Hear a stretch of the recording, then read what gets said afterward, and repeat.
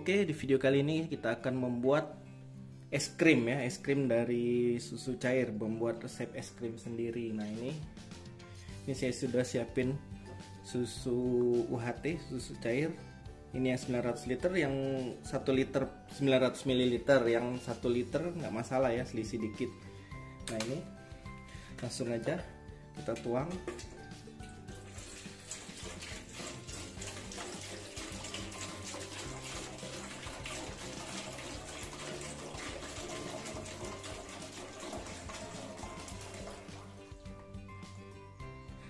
kemudian gula pasir. Itu sekitar 8 sendok makan atau 100 gram aja.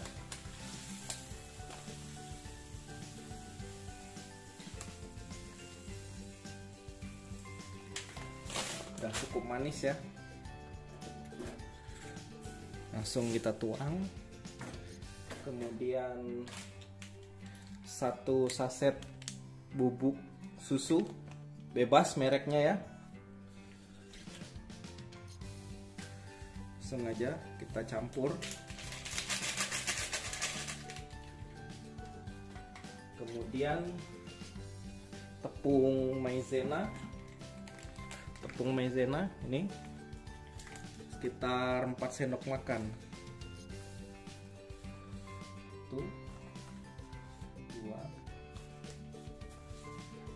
tiga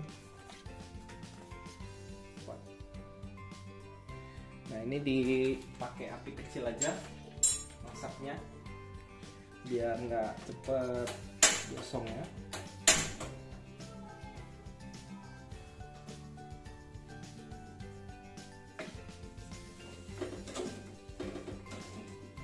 Nah ini diaduk-aduk dulu biar nggak menggumpal nah ini sudah mulai mendidih.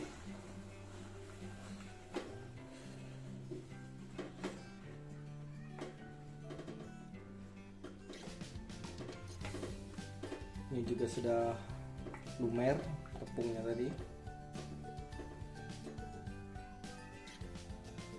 Ini langsung aja kita matiin kompornya kemudian disaring. Ini saya sudah siapin wadah kemudian saringan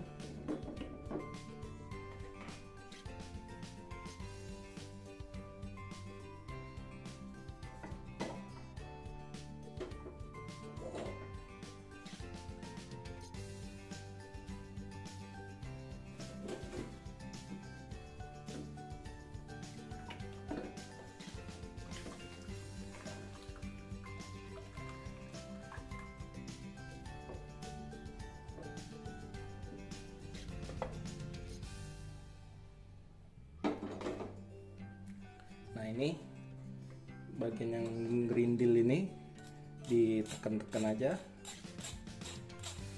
Nanti dia halus.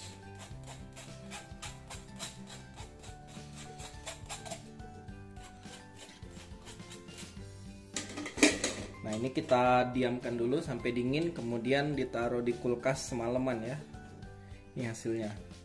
Oke kita lanjut lagi kalau ini nanti sudah beku ya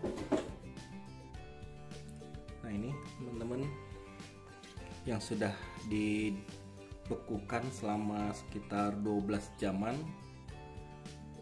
Nah ini sudah keras ya. Nah ini siap untuk di mixer atau bisa dipakai blender. Nah bahannya sini saya sudah siapin SP ya. Satu sendok TSP dicairkan. Nah ini sudah ditip. Kemudian satu saset susu kental manis. Nah untuk selanjutnya kita saya pakai blender aja ini. Kita masukin es krimnya sini. Nah ini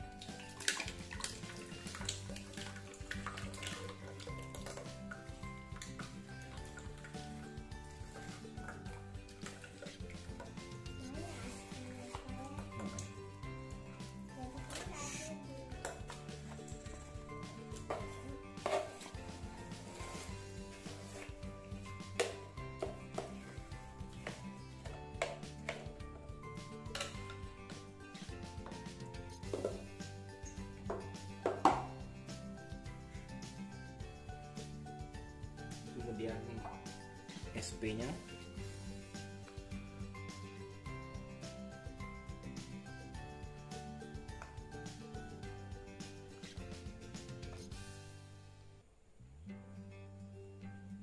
kalau yang punya mixer boleh pakai mixer ya. Nah, ini langsung kita mixer atau blender boleh ini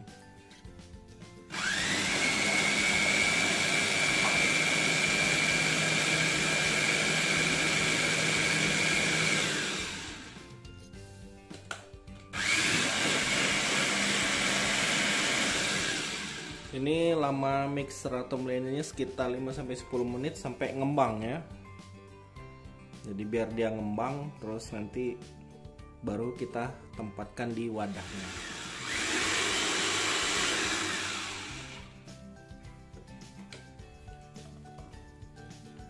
ini udah lumayan ngembang ya. Jadi saya mau bikin dua rasa yang asli yang putih sama yang coklat. Nah ini separuhnya saya pisahin dulu. Nah separuhnya lagi saya kasih susu coklat biar warnanya coklat.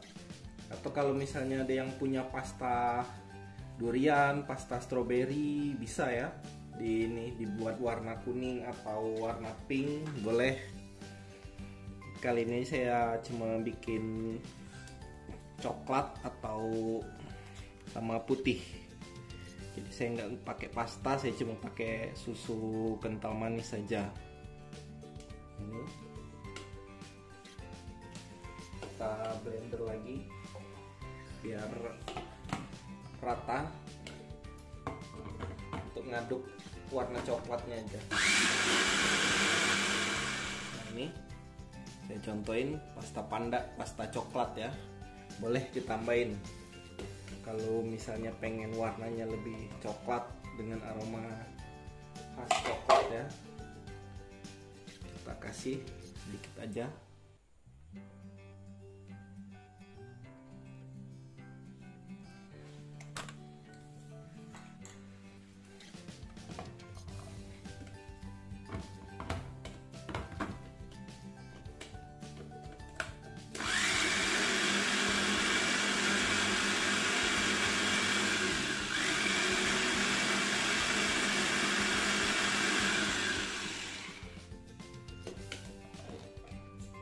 Nah ini warnanya sudah berubah jadi coklat. Ini siap dikemas ya. Nah ini saya sudah siapin cup es krim. Langsung aja kita isi.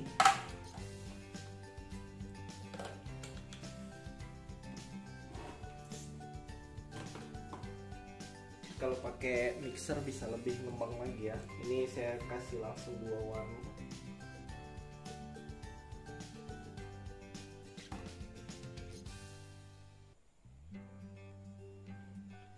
bebas ya karena untuk makan sendiri jadi separuh vanilla separuh coklat.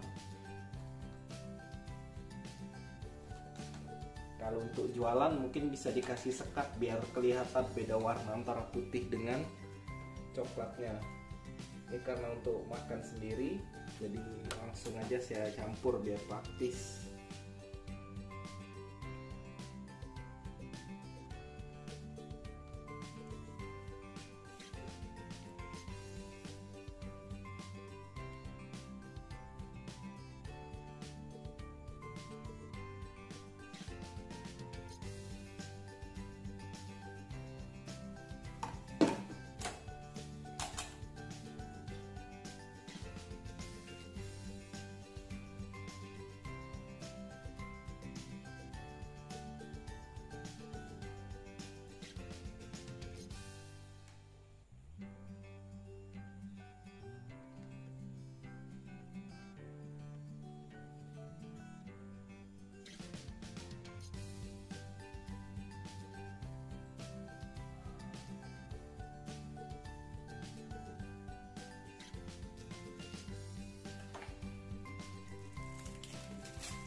langsung tutup pakai kapas